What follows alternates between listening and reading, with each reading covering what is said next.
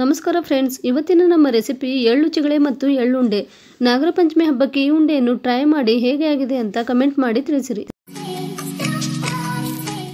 ಬೇಕಾಗಿರುವ ಸಾಮಗ್ರಿಗಳು ಕಪ್ಪು ಎಳ್ಳು, ಬೆಲ್ಲ,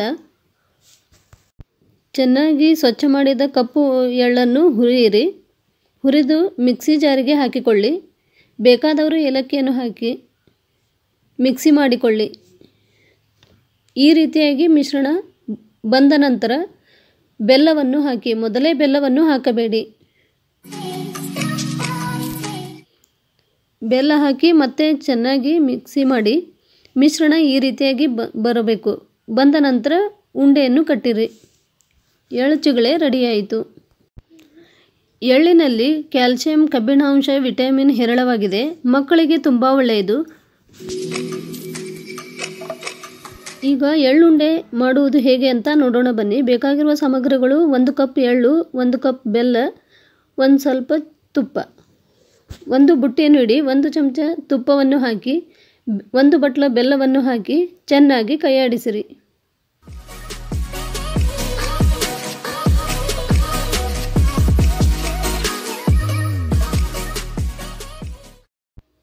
ಒಂದು ಚಮಚ ನೀರನ್ನು ಹಾಕಿ.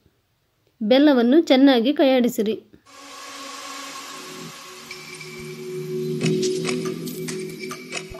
ಎಳ್ಳು ಕ್ಯಾನ್ಸರನ್ನು ತಡೆಗಟ್ಟುತ್ತದೆ. ಅಷ್ಟೇ ಅಲ್ಲದೆ ನಾರಿನಾಂಶ ಹೆಚ್ಚು ಇರುವುದರಿಂದ ಜೀರ್ಣಕ್ರಿಯೆಗೆ ಸಹಾಯ ಮಾಡುತ್ತದೆ.